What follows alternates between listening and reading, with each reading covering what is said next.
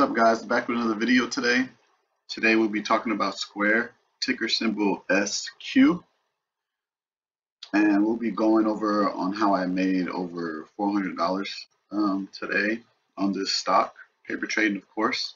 I'm not a financial advisor.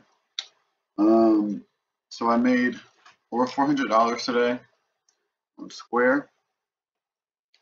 And the reason why I got in Square is because it was showing a consistent, I'm looking at my other chart, it was showing a consistent uptrend. So whenever it shows that, I like to start looking for some discounted call options. And usually when the stock trades sideways like this, you'll be able to get a good option because it's killing all the premium that's collected in the option, which is making the option cheaper for you and better for you to buy because you'll be getting a cheaper price and it'll be easier for it to go up once you get the up move. After this, once you get the up move, your contract will go up faster than it will going through all this choppiness.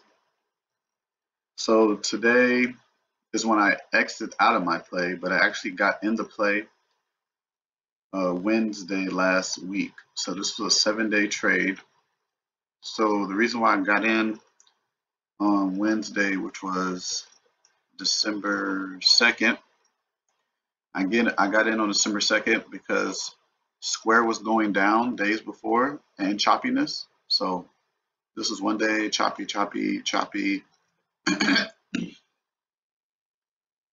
choppy came down, choppy came down.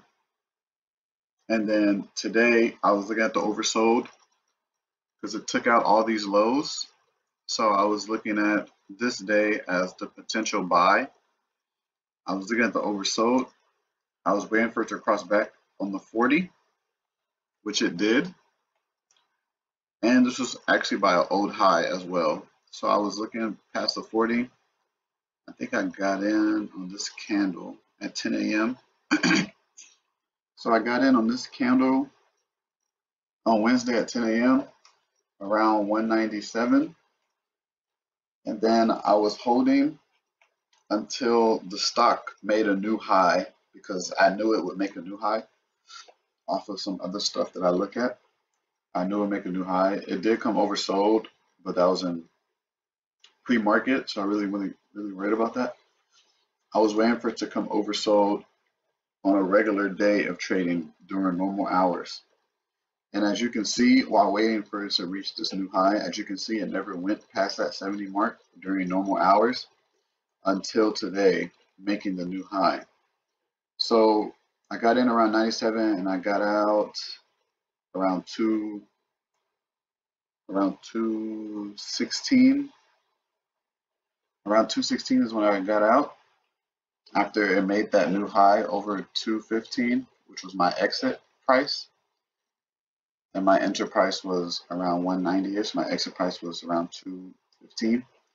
That is why I say you want to know your entries and exits so you always know when to get out, when to cancel the trade, when to take profits. You're always managing it. You're not just letting it go or anything like that. You're, you're taking control of your place. So I got in right here, across the 40 confirmation. It was wanting to go up.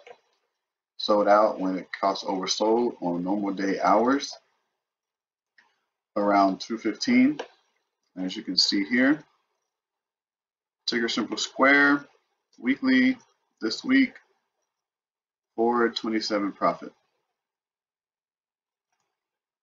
Alright guys hope you like this video. Um, there'll be another video tomorrow at 1 p.m. make sure you leave a like subscribe comment. Get your four free stocks at the link below on Webull and I'll catch you on the next one. Bye